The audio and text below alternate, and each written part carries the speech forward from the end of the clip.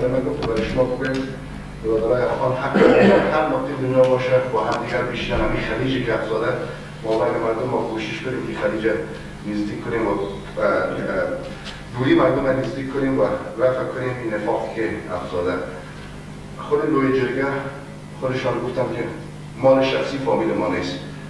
افغانستان مال شخصی فامیل ما نیست. از ما شماست. و وقتی که افغانان جمع میشن به صداقت و به پاک یک حل سیاسی بر مملکت خود پیدا کنن.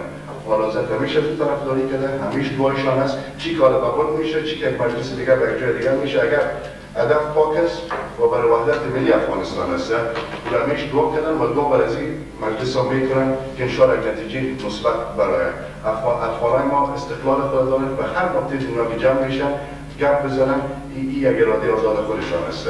این به کنترل هیچ کس نیست.